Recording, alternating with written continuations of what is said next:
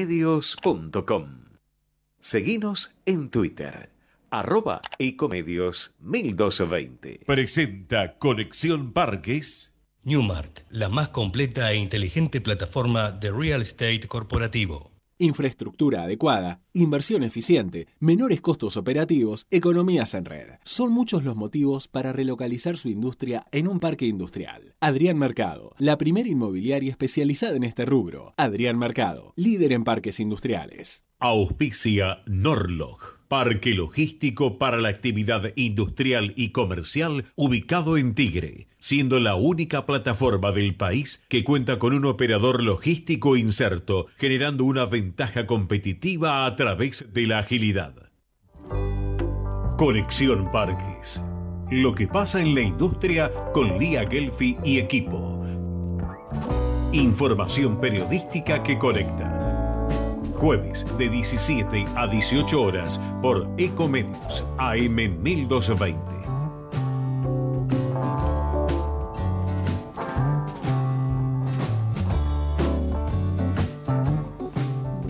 Bienvenidos a una nueva edición de Conexión Parques, como todos los jueves, de 18 a 19. Acabo de advertir que nuestro, nuestra, nuestra intro sigue diciendo 17. Epa, epa, epa. Ahí vamos a cambiarlo para el próximo jueves, es de 18 a 19, acá por Ecomedios AM 1220 y todas las plataformas digitales. Estamos en vivo en Facebook, YouTube, Twitter, Instagram, Twitch, bueno, de todo, de todo. Y también recuerden que este programa se repite en la radiodelcampo.com, por supuesto, mañana y el día sábado en dos ediciones. Muy bien. Quien les habla, Lía Gelfi, les da la bienvenida y saludo a mi co-conductor, compañero de programa, Alejandro Winocur. Buenas tardes, ¿cómo estás? Que hoy no estás acá en el programa, como ve nuestra audiencia que nos mira. Hola Lía, buenas tardes a todos. Como siempre, un placer estar contigo, aunque no esté ahí presente. Sí, hoy estamos, estamos. Hoy es un día eh, especial en el que se está celebrando el, el Jueves Santo, esta esta eh, celebración cristiana también. Esta semana, ya hace unos días, en realidad arrancó el ramadán de, la comunidad musulmana y no sé, en, la, en el calendario mm, de la comunidad judía y de la fe, eh, ¿qué, se está celebrando este fin de semana? mañana. noche. Ok. O sea que para toda, toda nuestra comunidad eh, es un fin de semana de reflexión y de eh, introspección también, sobre todo para aprovechar en estos tiempos tan revueltos personales, eh, de país y, del mundo que estamos viviendo, así que es un buen momento para eso y, vamos a estar eh, invitándolos también para, para que nos acompañen a cada uno de nosotros en, nuestra, en, en la fe que cada uno tenga. ¿Sí? Eh, Ale, bueno, tenemos un montón de contenido, pero en primer lugar le quiero dar la bienvenida a Leonardo Wagner. ¿Cómo estás, Leonardo? ¿Cómo estás, Lía? ¿Cómo te va? Y a toda tu audiencia. Ale, ¿cómo andás? Muy bien, un placer tenerte en el programa. Gracias, Me indican que tengas, tenés que estar un poquito más cerca del micrófono, Leonardo. Aprovecho para presentarlo. Leonardo es presidente del Departamento de Infraestructura y Parques Industriales de la Unión Industrial de la Provincia de Buenos Aires, vicepresidente de la Unión Industrial de Quilmes y director ejecutivo del Parque Industrial La Bernalesa, además abogado, consultor de pymes. En fin, tenés un amplio conocimiento de todo lo que tiene que ver la industria desde hace muchos años, Leo, así que es un placer tenerte y tenemos varios temas que nos gustaría, que estuvimos pensando, eh, que, nos gustaría aprovechar tu presencia. Eh, ¿Querés comentar así, título nada más? Qué presentación, bueno. Eh, también son muchos años, ¿no? te cuento un poquito lo que, lo que te propuse para, para, para tratar de ver el, temario, hablar un poquito de, la realidad de urbanística de la provincia de Buenos Aires, donde tenemos el enclave industrial más potente del país. Eh, el problema que a veces generalmente se transforma en un ancla para el desarrollo, que es la radicación industrial, el nomenclador de actividades, entre otras cosas. Después te quería comentar un poquito el tema que estamos padeciendo del, suministro de gas, energía en concepto como, como cuestión estructural. Y después, bueno, si tenés tiempo, te quería comentar un poco algo que está muy de moda estos días, el tema de los bloqueos de los, de los gremios, cómo funciona esa herramienta gremial, eh, a veces distorsionada para otros fines. Muy bien, muy bien. Bueno, temas importantísimos, Alejandro, que, que, en este día vamos a estar tocando con, Leonardo. Temas picantes. Sí, picantes, picantes. así que vamos a tratar de. para que podamos hacer un, un ping-pong, un ida y vuelta con él. Tal cual. Y si tenemos tiempo, bueno, les contamos que en nuestros breves de parques del día de hoy tenemos 11 noticias elegidas que resumen la actividad que se desarrolló en la órbita de los parques industriales y de las pymes radicados en los mismos. Y vamos, tenemos, digamos, mencionados a eh, San Nicolás, 25 de mayo, a Edo, Pilar, Pernaleza, justamente, Quilmes, Parque Industrial Suárez, Chivilcoy, Parque Industrial de Bursaco, todos de la provincia de Buenos Aires, pero también de Bariloche y un repaso también del Programa Nacional de Parques, que a la medida que tengamos espacio en el programa vamos a ir eh, compartiendo algunas de estas informaciones. Eh, Alejandro, ¿tenés algún datito o nos metemos ya con estos temas picantes, como vos los caracterizaste? No, solo, solo un tema. Salió la encuesta, fue publicada ya la encuesta que organiza la UIA, la UIA con la, perdón, con el involucramiento de UIA Joven, y la verdad es que traen datos eh, de la industria en general y, de las empresas y de empresarios y cómo están viendo eh, todo el contexto, lo que está pasando y las perspectivas que tienen para este año. Como es muy intenso y hay mucho dato duro y muy interesante, te propongo que dejemos para próximo programa dedicarle un, tiempo eh, a desmenuzarlo. Me parece bien, por supuesto está disponible en conexiónparques.com.ar el informe para que quieran para que no lo tienen, no lo ten, no, no, no, accedieron todavía, acá nosotros les traemos la información, pero lo vamos a analizar en próximos programas. Buenísimo, Alejandro, muchas gracias.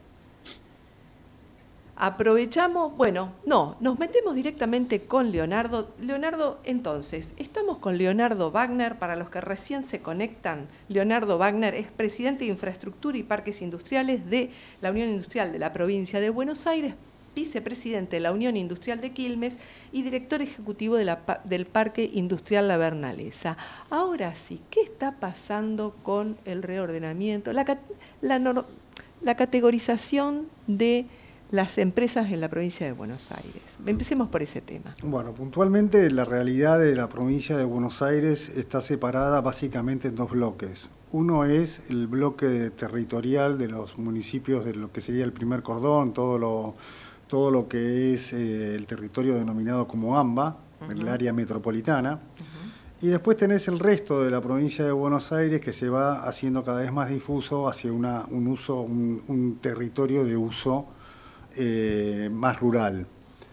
Eh, los establecimientos industriales en, lo que es el cinturón metropolitano tienen una particularidad que es un conflicto con el uso del suelo urbano. Entonces, al tener una densidad tan alta, la conurbación que determina ese bloque de edificios que uno transita desde La Plata prácticamente hasta Campana, que ve todo un monobloc de edificios, eso tiene una convergencia de uso urbano, donde hay casas y donde hay industria.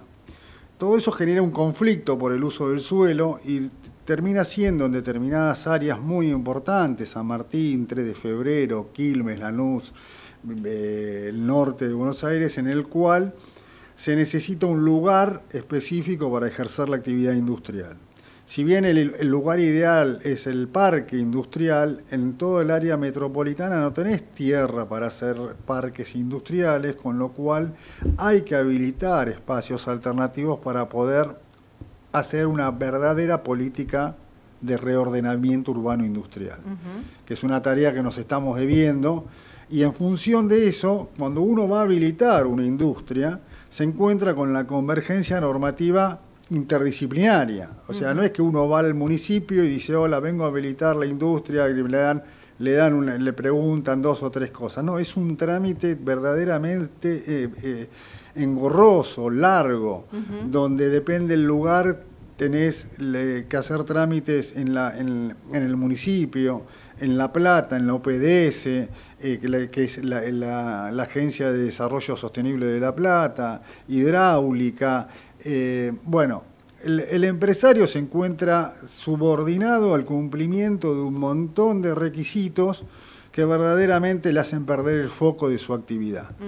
Toda esa convergencia termina en una categorización, se aplica una fórmula polinómica a la actividad, en donde se analiza puntualmente la superficie que toma la actividad, se analiza la cantidad de empleados, la potencia, la manipulación de las, materias primas y el producto, el dimensionamiento del, lugar y todo eso genera un, un puntaje. Esa fórmula polinómica, si te da menos de 11 sos categoría 1, si te da entre 11 y 25 y 24 sos categoría 2, más de 25 sos categoría 3.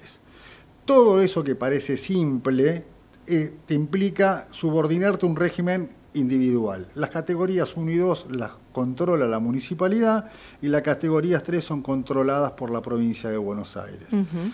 Hubo una modificación de normativa en el año, en el año 19 que de tener, hay 50, desde que se sancionó la ley 11459 de erradicación industrial en la provincia de Buenos Aires, se empadronaron, escuchaste números, 50.000 empresas industriales. De esas 50.000 empresas, de esas 50.000 empresas, solamente el 6% eran categoría 3.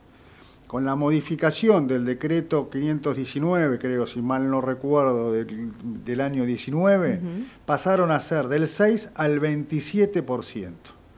Todas esas industrias pymes se encuentran obligadas a cumplir un montón de requerimientos ante la autoridad de aplicación tipo de fluente, tipo de eh, contaminación ambiental, calderas, particulado. Eh, es agobiante. Hoy ser categoría 3 implica tener un departamento de medio ambiente en la industria que por lo menos tenga dos personas. Claro. Y eso es parte del costo argentino y eso es algo que verdaderamente no se habla. Ahora, eh, Leonardo, mm, bueno, está claro que es, eh, es bueno cuidar, digamos, las, eh, el, desarrollo de la industria para que se cuide el medio ambiente y hacer un control. Pero ¿por qué sería innecesario? Porque lo que estoy entendiendo es que tal vez hay de, esas industrias que hoy están categorizadas en, como tres, tal vez no todas son necesarias para su operatoria. O, o, sí, ¿qué, ¿Qué es lo que podría evitarse? Control, control del Porque, medio digamos, el cuidado, el cuidado del medio ambiente hay que tenerlo. Exactamente. El control no significa burocratización. Ok. Entonces, vos podés hacer una tarea en forma eficiente o deficiente. Nadie en su sano juicio hoy en día puede llegar a discutir que, la, que tiene que haber una conciencia ambiental de la, de la, industria. Hoy todo el mundo incide negativamente en el medio ambiente y la actividad verdaderamente debe ser controlada. Perfecto. O sea, eso dejémoslo bien claro. El tema es el desafío que tenemos que discutir, cómo hacemos ese control. Nosotros no nos olvidemos que tenemos un triple nivel de gobierno. ¿Qué significa un triple nivel de gobierno? Que tenés reglamentaciones federales, que tenés reglamentaciones provinciales y que tenés reglamentaciones municipales. Si yo tiro, yo estoy, yo estoy en, en, una, en una jurisdicción que linda a un curso de agua interjurisdiccional y yo vuelco mi efluente líquido en ese curso de agua interjurisdiccional, estoy subordinado a cumplir la reglamentación de la nación. 25551, si mal no recuerdo.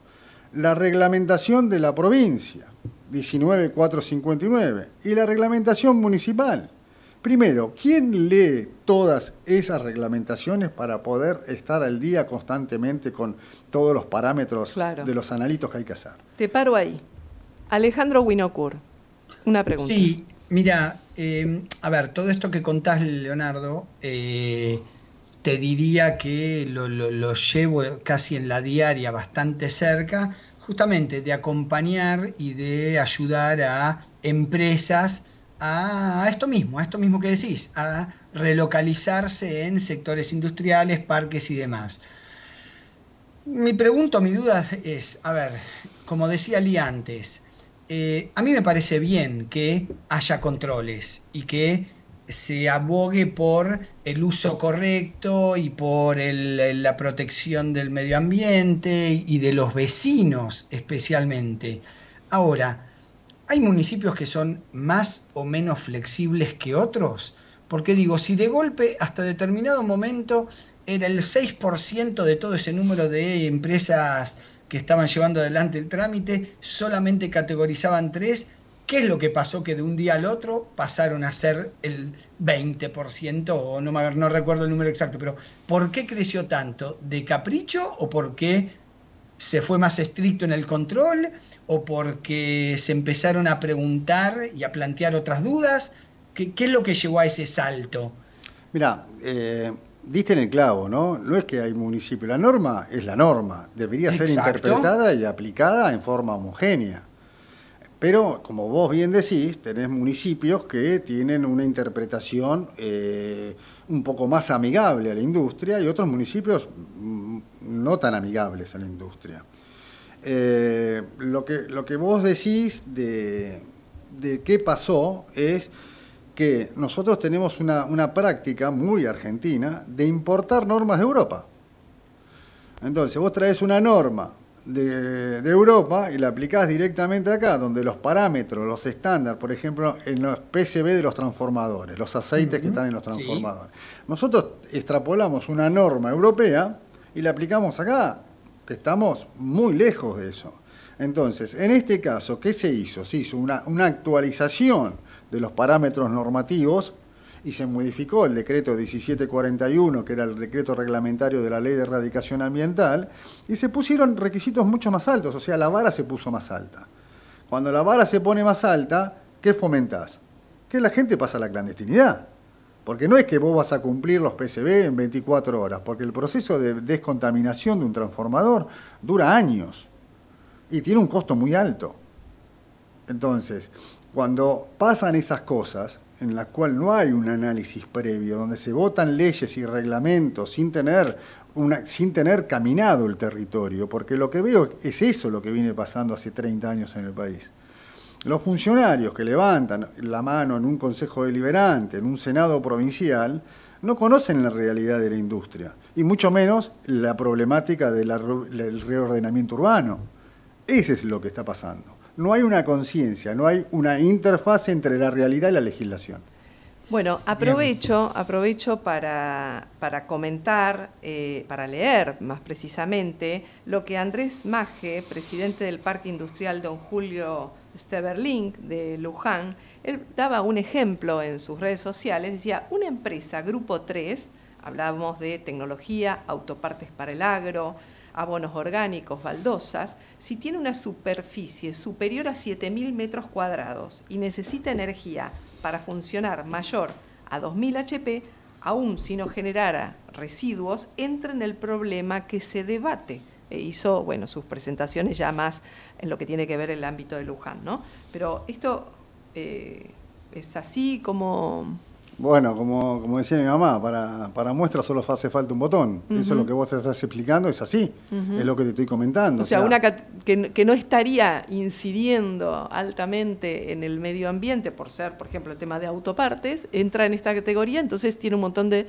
requisitos burocráticos, ¿sería eso? Sí, lo que, lo que tiene el antecedente directo, eh, algo, algo leí del caso puntual, el, antecedente directo es, eh, hay, un tema, hay un tema de una ordenanza que, se discute su vigencia, que es la, ordenanza eh, urbanística de erradicación industrial de Luján, pero, a ver, un poco lo que preguntaba Ale, ¿no? ¿Por qué un municipio va a un extremo y el otro va al otro extremo?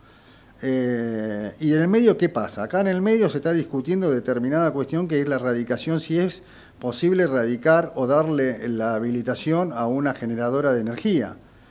Entonces, ¿qué se discute ahí? ¿Contamina o no contamina? Cuando vos tenés un sistema legal que lo que te obliga es a llenar papelitos o a llenar a hoy en día jornados, formularios en la web, tenés una desconexión con la realidad, porque no necesariamente todo aquel que llenó todos los papelitos en forma muy eficiente y logra una categoría menor a 3, quiere decir que contamine menos que una categoría 3. Porque un categoría 2 puede contaminar mucho más que un categoría 3. Por eso lo que hay que buscar es una, una, solución disruptiva que haga más eficiente todo el sistema de habilitación o de erradicación industrial en la provincia más industrial de nuestro país. ¿Y cómo se empezaría a, se podría empezar a hacer eh, ese, ese debate o, encontrar esa solución disruptiva? ¿Por dónde, si tuviera, si hoy te llaman y dicen, Leonardo, muy interesante, ¿cómo empezamos? Bueno, ¿Cuál es la primera idea o qué se puede hacer? Lo primero, lo primero es destacar estos espacios de difusión y divulgación, que no son muchos, porque no, no, no, no, pretendo dorar la píldora a este, a, este, a este espacio, pero verdaderamente es uno de los pocos espacios en los cuales se plantean la problemática industrial de la provincia de Buenos Aires. Entonces, primero generemos estos espacios, cuidemos estos espacios, apoyemos estos espacios e instalemos el tema. Porque el tema este no se habla, porque no está en ninguna agenda política. Lo primero que te diría es empezar a hablarlo. Y después convocar al industrial, porque no lo hacen estos los técnicos. O sea, yo puedo convocar al mejor técnico de, de Bélgica y no camino el territorio de la provincia de Buenos Aires y voy a tener una muy linda norma de Bélgica, pero inaplicable a la provincia de Buenos Aires. ¿Cómo te vas con esa norma de Bélgica, por decirlo de vuelta, a, aplicarlo a la matanza? Entonces, primero hagamos una interfase de realidad, baño de realidad, qué se puede hacer, qué financiamiento hay para hacerlo, y empecemos a hablar de un código general provincial de habilitaciones industriales. Muy bien. Bueno, pasamos a otro tema antes que se termine este primer bloque del programa, que es la problemática del abastecimiento de gas. La Unión Industrial del Gran La Plata hizo un informe, bueno, están todas las sectoriales muy preocupadas por este tema y cómo, digamos, cómo lo vinculamos a esto con los parques industriales, a tu criterio.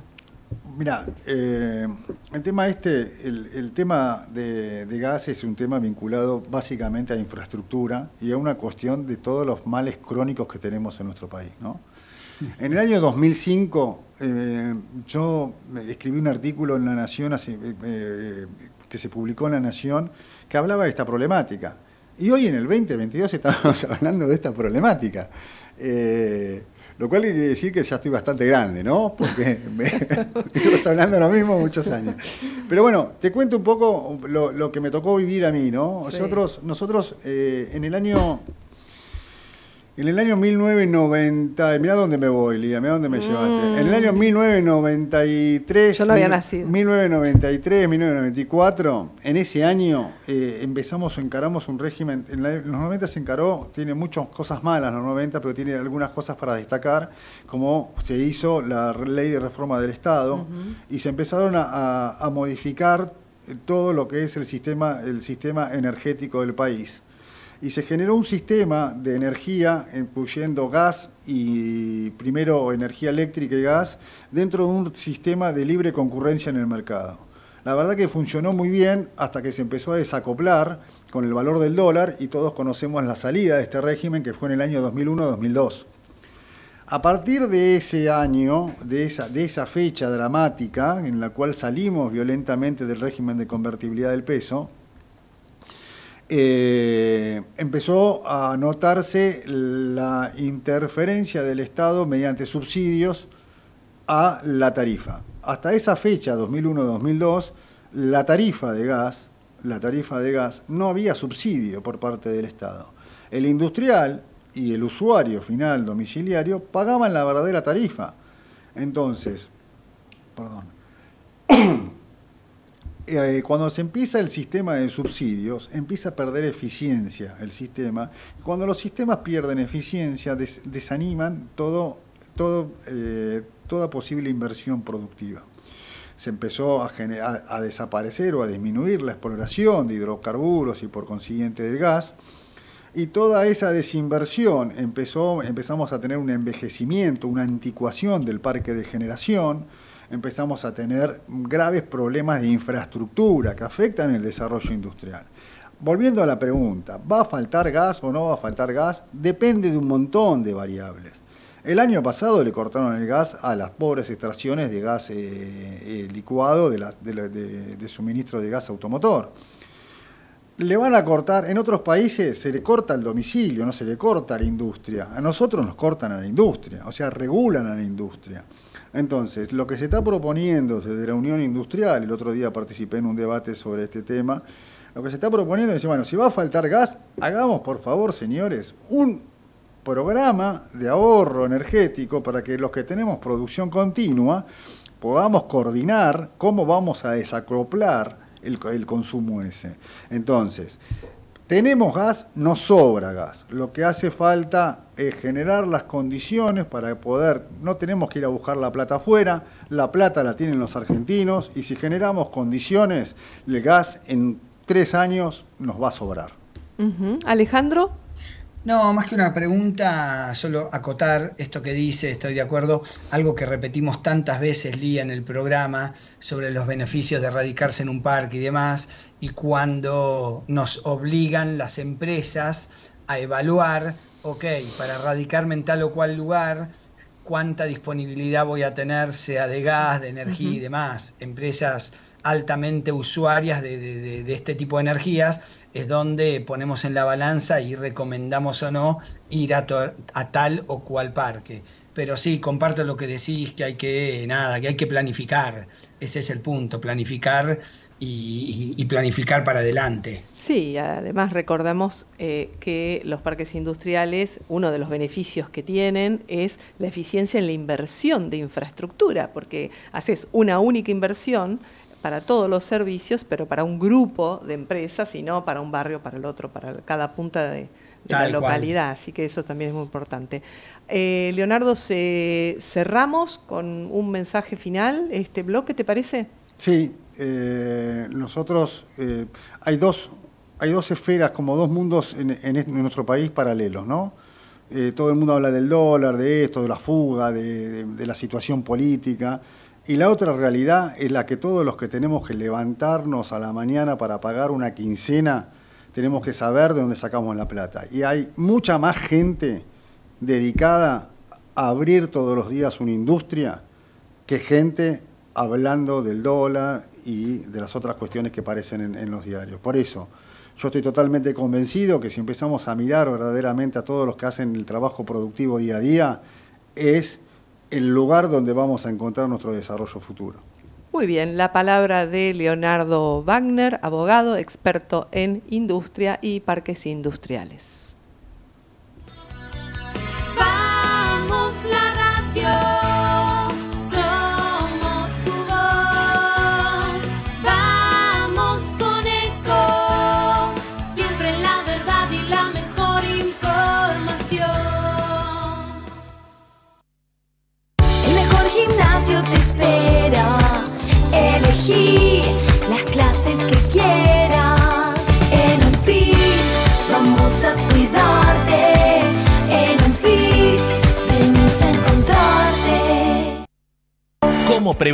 Dengue, zika y chikungunya? Sin criaderos no hay dengue.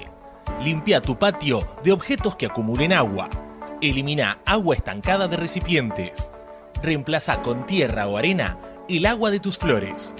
Tapa los tanques de agua y cisternas. Tira y perfora llantas para que no acumulen agua. Limpia floreros y bebederos. Recordá, sin criaderos no hay dengue. Intendencia Menéndez.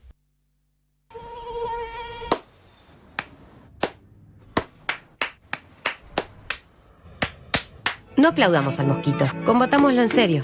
Para combatir el dengue, el zika y el chikungunya, evitemos que los mosquitos piquen y se reproduzcan. Usemos repelentes, coloquemos tules en la cuna de los bebés y demos vuelta a contenedores para que no se acumule el agua. Si tenés fiebre alta, dolor de cabeza y dolor muscular, no te automediques y acudí al médico. Encontrá más información en argentina.gov.ar. Argentina Unida, Ministerio de Salud, Argentina Presidencia. Informate en ecomedios.com. Seguinos En Facebook, Ecomedios Live.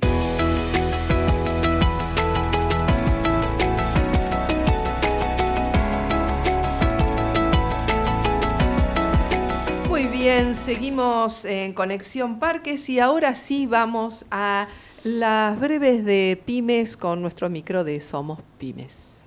Desde el día uno estamos transformando y no paramos porque tenemos un plan, seguir mejorando la calidad de vida de todos nosotros. La transformación no para. Buenos Aires Ciudad. Conoce más en buenosaires.gov.ar barra transformación. Y la noticia de hoy es que la Secretaría de la Pequeña y Mediana Empresa y los emprendedores, dependiente del Ministerio de Desarrollo Productivo de la Nación, actualizó los topes de facturación que determinan los parámetros por los cuales las empresas se encuadran dentro de la categoría MIPYME y les permite obtener el certificado correspondiente. Las nuevas categorías entraron en vigencia a partir del primero de abril. De las 1.695.881 eh, empresas que actualmente cuentan con el certificado vigente que expide el Ministerio de Desarrollo Productivo, la mitad corresponde al sector de servicios, 49,5%, casi un cuarto del total pertenece al sector del comercio, 24,3%, y el porcentaje restante se divide entre los siguientes sectores.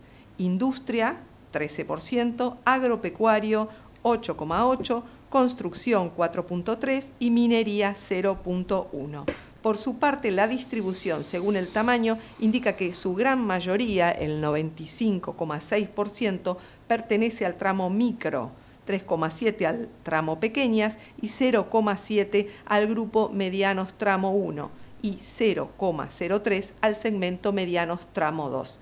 Según el análisis de una entidad sectorial, las nuevas categorías presentan incrementos respecto de los topes vigentes en marzo del 2021 de 81,7% para las microempresas, 89,2% para las pequeñas, 73,9% para las medianas tramo 1 y para las medianas tramo 2, 78,2%.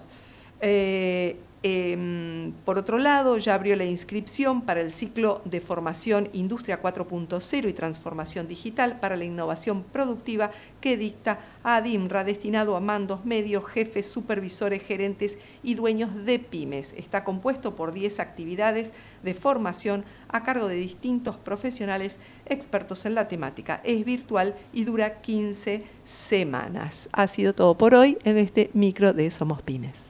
Desde el día uno estamos transformando y no paramos porque tenemos un plan, seguir mejorando la calidad de vida de todos nosotros. La transformación no para. Buenos Aires Ciudad. Conoce más en buenosaires.gov.ar barra transformación. Bueno, temón Alejandro, temón Alejandro, este tema del gas. Hay otro tema que es el de los eh, bloqueos también, que tenemos dos, tres minutos para hacer una mención, también aprovechar a, Leonardo sobre este tema. Eh, ¿qué, te, parece, Alejandro, si, tocamos eh, este temita de los bloqueos que tanto preocupa y que hay mucho dando vueltas? Sí, por supuesto. Estuve esta semana que pasó eh, con uno de los referentes de la agrupación antipiquetes, ¿sí? Con lo cual, nada, en otro momento si querés lo podemos invitar, podemos charlar con él, Bernardo Fernández, que no sé si recordarás que se había hecho público. Sí. Sí, por eso digo que le, le, cerraron, le bloquearon el ingreso a, al parque que la administra o que gerencia, con lo cual había sido un caso resonante, pero prefiero escuchar la, la opinión de, Leonardo y que nos dé su parecer. Leonardo. Bueno, eh, lo sufrí en carne propia en el año 2011. Eh, el, antecedente, el antecedente de esto es eh, una falta de compromiso de la justicia en intervenir. no es en todos los casos, ni en todos los casos se va por el camino que corresponde. Hay que denunciar. Los bloqueos son ilegales. Nosotros, desde, desde la gremial, sostenemos que, que hay que denunciar Ahora bien, también hay una realidad, hay una realidad de que no todo el trabajo es total, totalmente irregular. Entonces, esta, esta gente que en, principio plantea la reivindicación de un derecho del trabajador, se vale de eso para encontrar una fisura en la cual pueda entrarle al industrial y pueda reclamar algún tipo de soborno, que es el caso que trascendió en, la provincia de Buenos Aires. Por eso lo que, lo que más recomiendo es acercarse a la gremial local, trabajar en conjunto, participar. El industrial tiene que participar. Y la participación hace la fuerza y el camino correcto es la denuncia.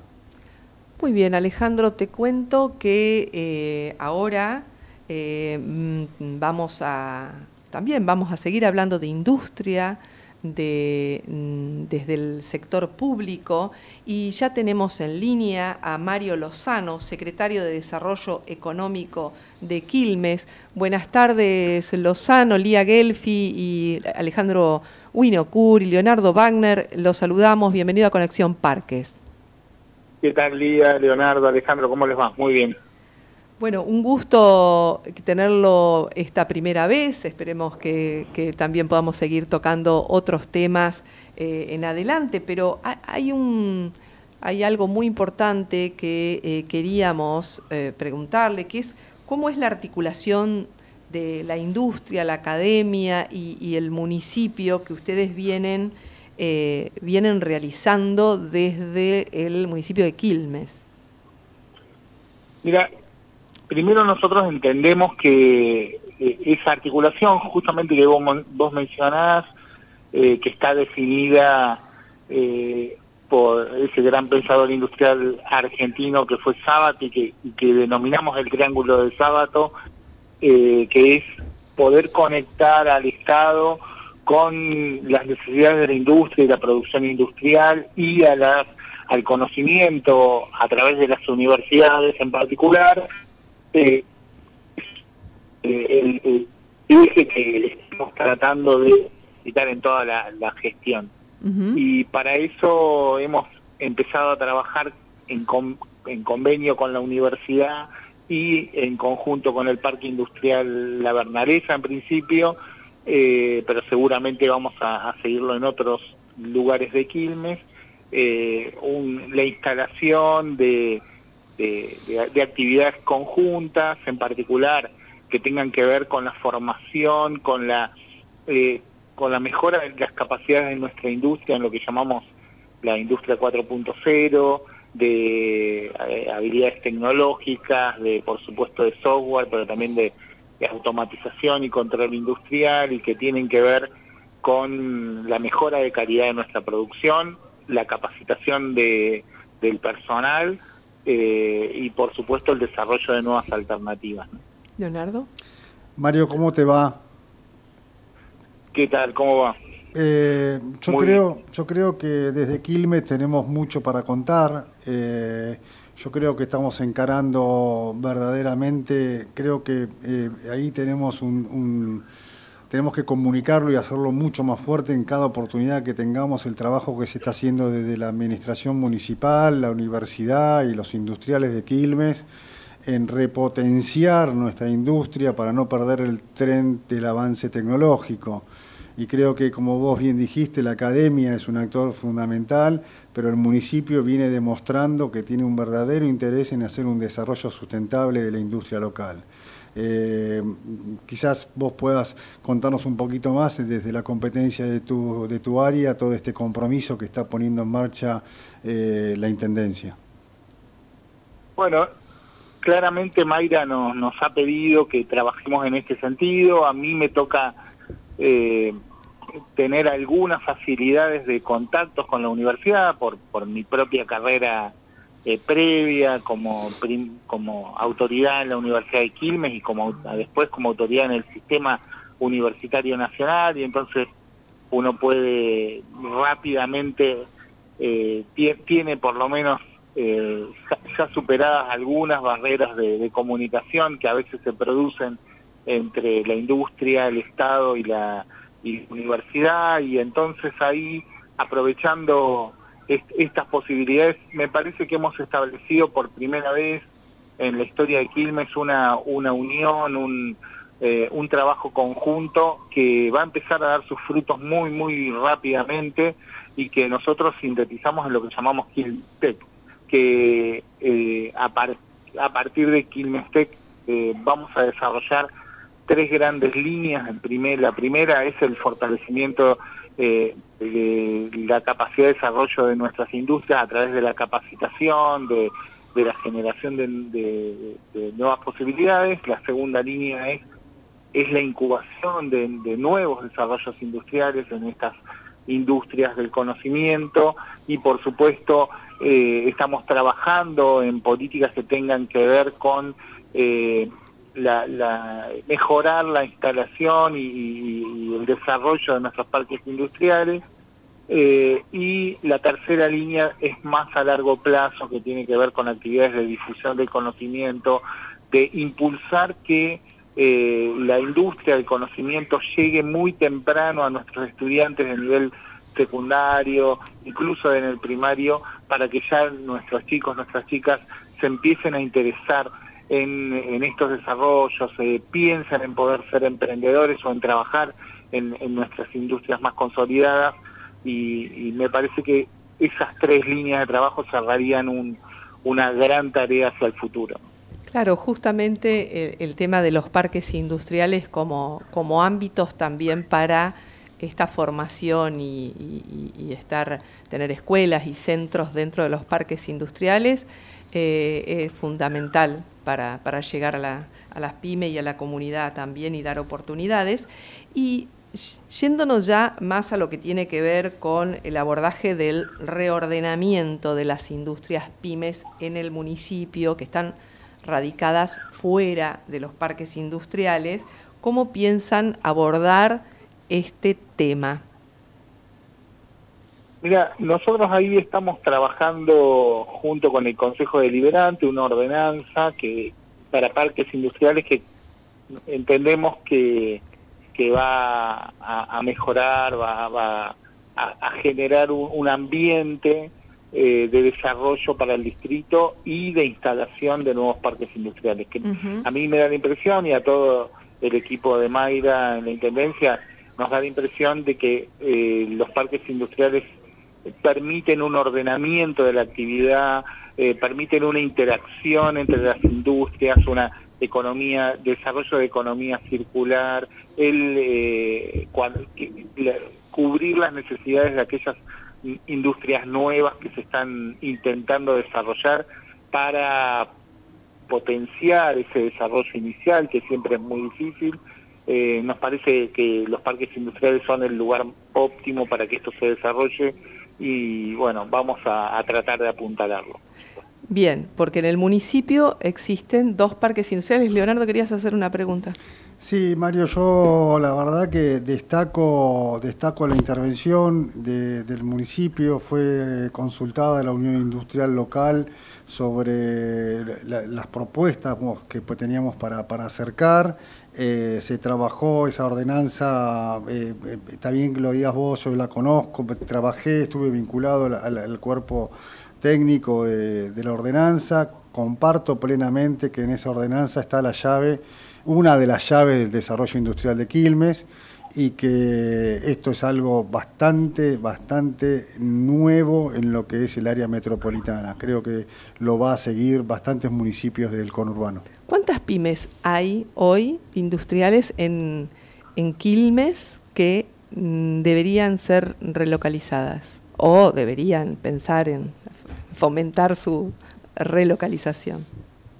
Mira, no tengo el número, pero Quilmes tiene muchísimas pymes fuera de los parques industriales eh, que podrían ser relocalizadas o eh, también hay que pensar que los parques industriales, como, como te decía recién, pueden ser el, lugar de instalación de nuevas empresas, ¿no? emprendimientos que no están todavía en el distrito y que seguramente van a poder eh, encontrar ahí un ambiente de trabajo mucho más eh, adecuado y por supuesto más interesante para, para esa inversión que esperamos que se, claro. que se vaya materializando con el tiempo. El municipio, además de, reordenar, tiene espacio para nuevos, para la erradicación de nuevos proyectos y a la vez atraer inversiones de otros, de otros lugares a esta, a esta zona. Hay un número, hay un número que trabajamos desde el gabinete técnico del Parque Industrial La Bernaresa, que nosotros hicimos una, una ecuación que se, la, se alcanzamos en su momento al municipio, donde creemos, estamos convencidos que por lo pronto, como no hay tierras en Quilmes para hacer el parque ah. industrial clásico, creo que podemos llegar a aportar en tres años más de 500.000 metros cuadrados industriales mediante la herramienta de la refuncionalización. Tenemos fábricas como eh, la ex Kimberly Clark, tenemos fábricas como proyecto de lo que era la ex Mazú, que está papel Pampa, bueno, tenemos el caso de la Bernalesa, todo el camino de Zapiola tenemos el, estado de Domecq, bueno, así sucesivamente que nosotros estimamos que podemos aportar prácticamente 500.000 metros cuadrados que podrían dar a, eh, albergar a la relocalización de cientos de pymes que están hoy en conflicto con el uso urbano. Así es. Eh, nosotros eh, entendemos que es necesario actualizar las normas que rigen los parques industriales para poder abarcar a este a este espectro que vos mencionás, exactamente. Claro, eh, estamos hablando de normas, eh, serían provinciales, ¿correcto? O, sí, las provinciales o las nacionales. Normas locales también. Ah, municipales. exactamente. Hay una herramienta, hay una, dentro de la legislación provincial, el artículo segundo determina los pequeños parques o los parques industriales municipales, que es una herramienta que utilizó muy bien Verazategui y creo que tenemos la oportunidad en, el resto de los municipios y hemos tomado la iniciativa desde Quilmes en trabajar en desarrollar esta potente herramienta para dar una solución efectiva a la industrial PYME. Mario, ¿qué se viene para el 2022 eh, en, el reordenamiento y, en esto que estamos hablando eh, en Quilmes y qué se proponen?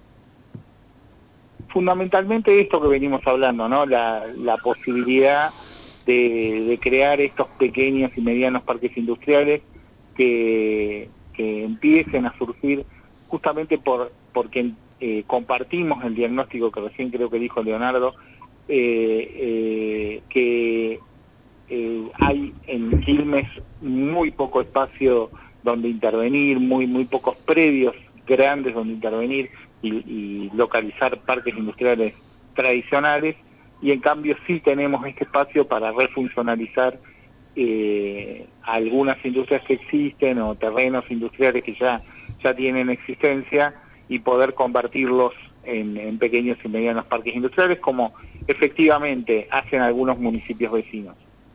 Eh, Alejandro Winocur. Sí, eh, a ver, un comentario y después una consulta.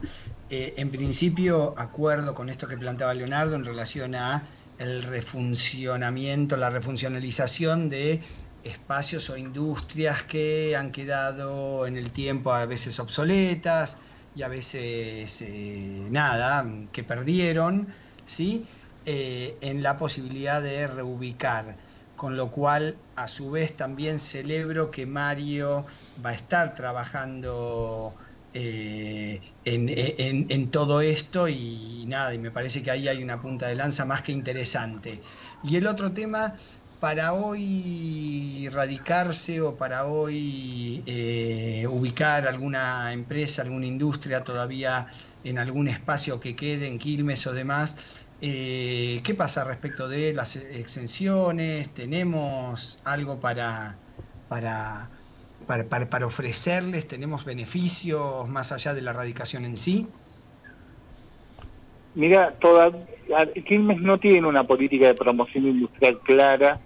Eh, para eso también necesitamos tener eh, eh, una nueva ordenanza de, donde se establezcan los beneficios, donde se establezcan en forma genérica, ¿no? Por supuesto, las condiciones de, de, instalación de nuevas empresas eh, y sobre todo eh, pensando eh, con mucha más con mucho más énfasis en las industrias que llamamos industrias del conocimiento, en donde la, la, la, relación entre la, la producción, los bienes conseguidos, las divisas que esas industrias pueden traer a, la región y al país es mucho, en general es mucho más importante y, son son escenarios donde nosotros quisiéramos que Quilmes avance en, eh, en su desarrollo.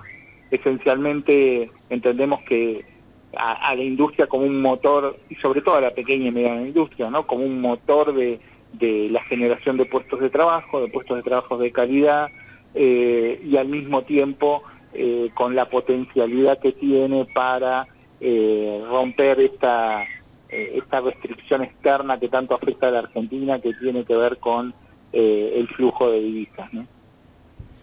Bien, Mario Lozano, muchísimas gracias. Eh, muy, muy interesante, la verdad, todo lo que están trabajando y todo lo que hemos comentado en, esta entrevista. Eh, por supuesto que vamos a estar, siguiendo de cerca el, este proceso, ¿no? De, que, es, de, que lleva muchos años el reordenamiento eh, y atentos a todas las novedades, noticias y cuestiones legislativas también que desarrollen desde el municipio. Bueno, muchas gracias a ustedes. ¿eh? Hasta luego. Hasta luego. Estábamos hablando con Mario Lozano, secretario de Desarrollo Económico de Quilmes. Muy bien, y seguimos, ya está, va, seguimos, pero ya tenemos nuestro último espacio de programa muy, muy interesante. Alejandro, ¿querías eh, comentar eh, algún tema al respecto? Si no, yo tengo mis breves de parques, que como siempre me quedo me quedo corta de tiempo para contarlos. No, solo hay un, hay un potencial interesantísimo en, como dijo Leonardo, él, sacó el punto de Quilmes y zona sur, pero la realidad es que a lo largo de todo el conurbano, en el AMBA, incluso en la ciudad, hay montones de edificios que han dejado de ser útiles para la función a la cual fueron creados originalmente y hoy pueden y, deben albergar industrias, pymes, y hay mucho, mucho para hacer ahí, sin necesidad de tener más tierra o volver a construir o grandes inversiones, sino solamente adaptarlos para eh, el contexto actual. Muy bien, bueno, nos quedaron varios temas. Uno que es muy interesante, justo en los breves de parque, eh, no, no fue a propósito, pero eh, vale. Eh, tenemos que el Parque Industrial La Bernalesa comunicó que habían sido realizadas exitosamente las pruebas de la red de incendio instalada. Y esto es un tema sumamente importante que no lo podemos desarrollar ahora, pero sí lo podemos dejar planteado al menos un mensaje corto sobre ¿Por qué esto es importante? Eh, yo diría que más que importante, creo que está atado a la erradicación de toda industria y que pueda funcionar un parque.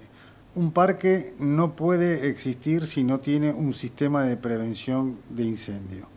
Y todo parque, eh, en su génesis, tiene que tener desarrollado este plan estratégico de contrafuego. ¿Por qué? Porque cuando pasan las cosas ya es tarde.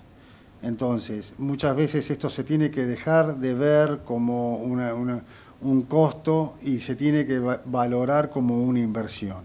Es lo que cuida cada centavo invertido en una industria.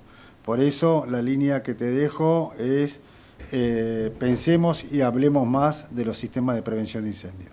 Muy bien, quedó planteado el tema, Alejandro, eh, que es muy interesante y también hace a, esto de los parques inteligentes, ¿no? También hay, un punto importante en, este tema de prevención. Eh, con lo cual ya, ya estamos en el cierre. Un mensaje final, Alejandro, y ya nos despedimos. No, no, más que nada, agradecer la, la, visita de Leonardo, muy interesante que podamos tener ida y vuelta con los principales interlocutores involucrados en, todo lo que tanto nos, nos gusta y nos, nos atrapa de, los parques industriales y la industria en general. Así es, así es. Muchísimas gracias, Leonardo. Esperamos tenerte pronto otra vez por acá. Y, gracias otra vez.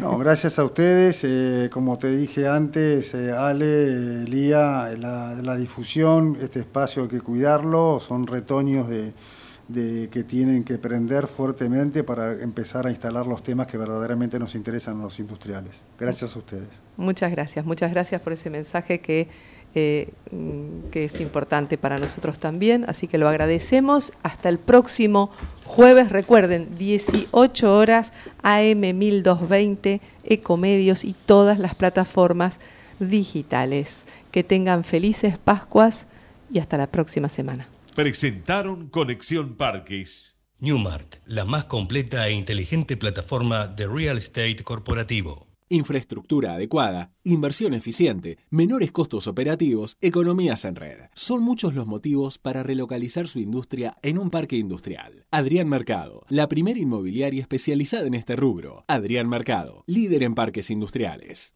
Auspicia Norlog Parque logístico para la actividad industrial y comercial ubicado en Tigre, siendo la única plataforma del país que cuenta con un operador logístico inserto, generando una ventaja competitiva a través de la agilidad.